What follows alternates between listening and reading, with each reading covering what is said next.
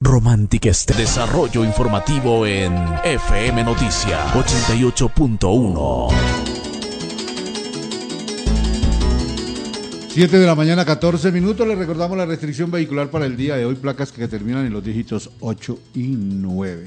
Nos vamos rápidamente a Bogotá, a la agencia de noticias RPTV, porque nuestros colegas ya nos tienen un panorama de lo que está ocurriendo en Colombia y el mundo. En este gran resumen a esta hora de la mañana. Bienvenidos, los escuchamos, colegas. Panorama Nacional, Noticias RPTV.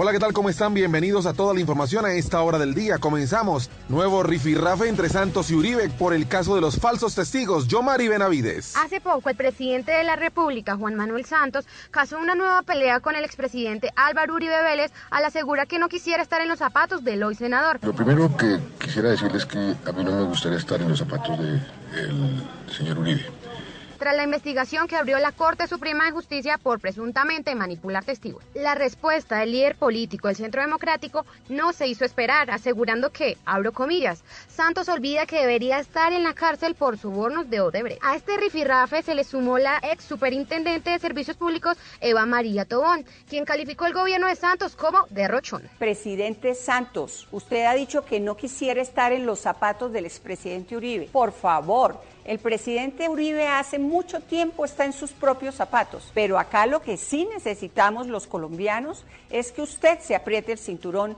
y no tengamos un gobierno derrochón y despilfarrador. Y hasta aquí el panorama de noticias RPTV. No olvides seguirnos en nuestras redes sociales. Soy Carlos Armando Gómez. Que tengan todos un excelente día. Hasta pronto. FM Noticias. Romántica Estéreo.